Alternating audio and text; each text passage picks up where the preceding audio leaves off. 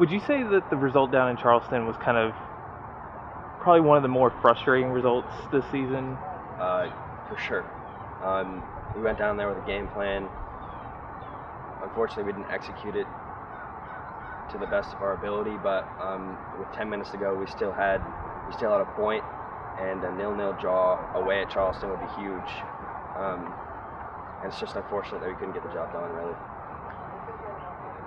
Do you are you going to treat that game kind of like the Charlotte game, like it was one-off thing, and just kind of get back because you guys bounced back when you got the loss at Charlotte to get the win at Orlando. So, do you feel like you guys can take that kind of same approach to the game Saturday? Um, I think the biggest thing is that we're coming home for two games, and I think um, in front of our fans, we'll be ready to perform.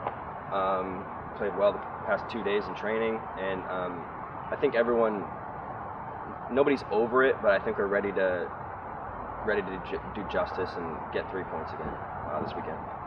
So you mentioned coming home. So there's just two home games left. How how massive is that for you guys? Kind of uh, from from a personal standpoint, with how the season's gone.